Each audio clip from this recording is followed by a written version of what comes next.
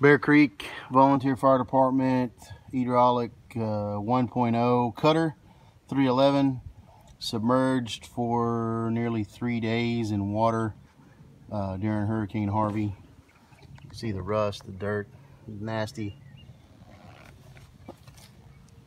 I'm gonna check this tool, see if it's functional. See the water line and the water in the tool. Got a blue light.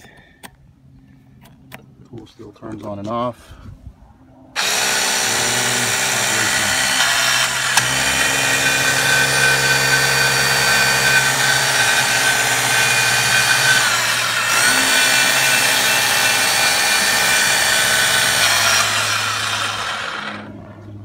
Pretty phenomenal that this tool still works.